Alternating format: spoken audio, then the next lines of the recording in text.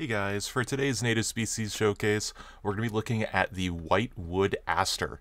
Now, this plant is native to most of the eastern coast of North America.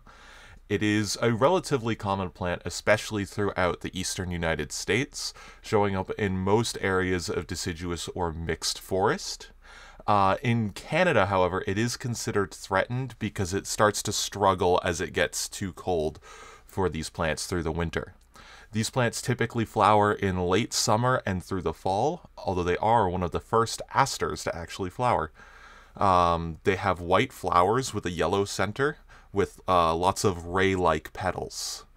The most similar plant to these would probably be mountain asters, which can be told apart because mountain asters have a different growing environment. They don't like the same areas, and they also have more rays on their flowers.